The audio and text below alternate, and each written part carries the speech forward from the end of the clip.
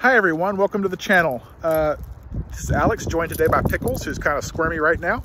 Um, I just want to take a second and welcome you all here and tell you kind of what we exist for. Um, I, a lot of people have told me that they're interested in the things that are going around, on around the homestead here, and that is sort of our main goal here, kind of a diary.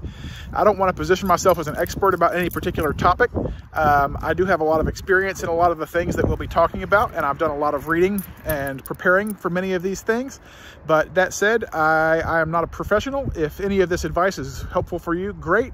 Uh, if not, it's not advice, it's just a diary.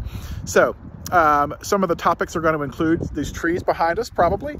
Uh, we have berries and grapes. We're going to have a garden production going on, chickens, uh, quail, uh, pickles once down.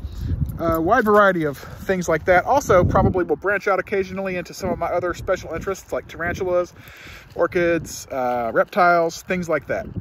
So thank you for being here. Uh, look forward to seeing where this leads us. I do also want to say I will probably mention the name of specific brands or products pretty commonly, and I want to be clear that's not an endorsement of any kind. That's just telling you all what I've been using. Um, if something doesn't work, I will try to be clear about that as well.